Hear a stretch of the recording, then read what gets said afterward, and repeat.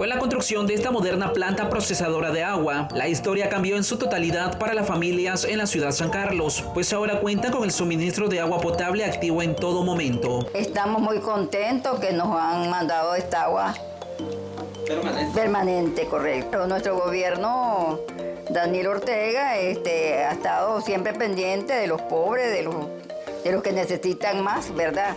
Teníamos que ir a la playa a bañarlos y a traer las latitas de agua para usar, a poner el usuario de, nuestro hogar. Es meritorio mencionar eh, oportuno la situación crítica que teníamos con el agua potable aquí en la ciudad de San Carlos antes de la construcción de esta planta. Aquí teníamos sectores con agua de dos horas diario y otros barrios teníamos dos horas día de promedio y la gente hoy tiene agua las 24 horas del día.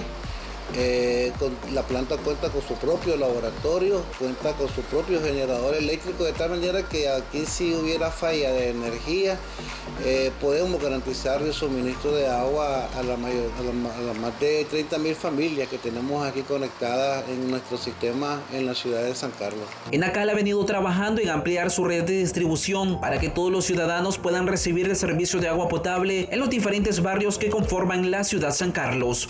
José Girón, Crónica TN8.